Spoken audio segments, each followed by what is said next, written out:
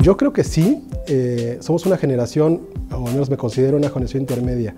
Eh, la generación que está arriba de nosotros, pues es una generación que, que, aprendió toda la parte de internet y de computadoras pues ya cuando estaba trabajando. En mi generación lo aprendimos en la escuela, pero la generación que hoy en día viene, pues nació con esta tecnología. Entonces definitivamente creo que hay diferencias marcadas. Tiene un acceso a la información impresionante que no existía antes. Y, esto es un, es un, plus que tienen definitivamente porque es muchísimo más sencillo la adopción de, de, nuevas tecnologías, de conocimientos adicionales.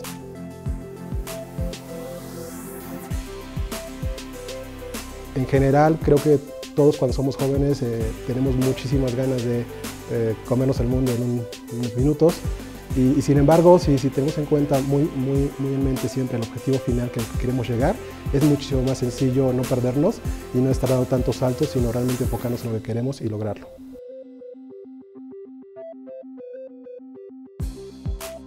Yo creo que eh, no hay un momento exacto, es un momento en el cual tú definas qué es lo que quieres, qué es lo que te gusta o a qué te quieres dedicar y, y lo puedes hacer desde cualquier momento.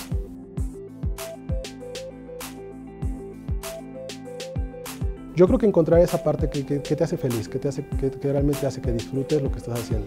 Cuando disfrutas lo que estás haciendo, la verdad es que las cosas se dan pues, por añadidura. Hay cosas que, en lo particular, a mí, estudié, yo estudié una carrera de ingeniería, soy pues, muy técnico, yo me dedicaba a programar computadoras y me encantaba programar computadoras. Llegó un momento en el cual ya no era suficiente para mí, yo quería aprender un poquito más de negocios y me, me fui preparando. Yo creo que es importante eso, que vayas descubriendo qué cosas te gustan, qué cosas no te gustan, que te, prepares y que busques realmente los objetivos que buscas.